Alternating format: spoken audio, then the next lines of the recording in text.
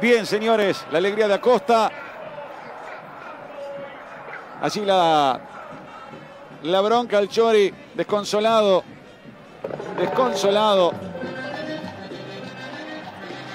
El diálogo de Funes Mori. Los mejores momentos, chavo. El gol. Ahí está compacto. El gol de Patronato, una muy buena jugada. Jugada preparada. Además, miren la cantidad de gente de Patronato que llega para definir. Cabecea Costa. Y este gol le da la victoria a Patronato.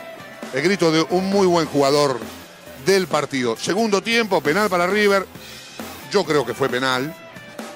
Insisto, un penal muy chico, un penal tonto, pero penal al fin. Está bien mostrada la amarilla también. Y le pega muy fuerte y al medio el Chori Domínguez. Y salva este señor que fue el héroe de la jornada, Bertoli, que tuvo un gran primer tiempo.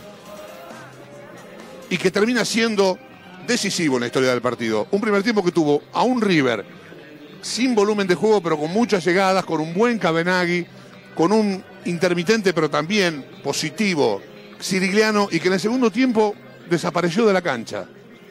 Démosle mérito a Patronato. Cerró sus filas, fue más preciso, apretó bien el equipo, sus filas, eh, sus líneas no dejaron espacio para que River juegue y este detalle que ajustó Fuentes le impidió al equipo millonario llegar al arco rival. Tuvo esta chance sobre el final y la desperdició el Choro de Domínguez, o para decirlo mejor y correctamente y justamente, Bertoli se quedó con todo. Con los tres puntos para Patronato y con la decepción de la gente de River que se va sin poder creer lo que acaba de ver.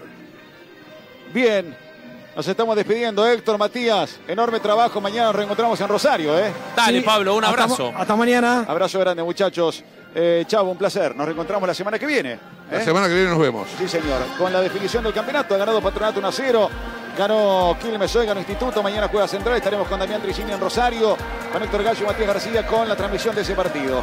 La dirección de Daniel Trevidovicius, la producción de Diego Serrano, la asistencia de los señores Rizzo y Petraglia, todo el trabajo con los efectos en la transmisión de Tiberi y de Malek. Nos vamos. Ha sido un placer. Disfrutamos de un gran espectáculo dramático. ¿Cómo ha sido todo el campeonato y cómo será la última fecha también? Mañana en Rosario veremos cómo sigue la historia. Reiteramos con los resultados de hoy: 70 puntos River, 70 Instituto, 69 Central, que puede mañana quedar como único líder, 69 Quilmes. Gracias. Hasta cualquier momento. Chau.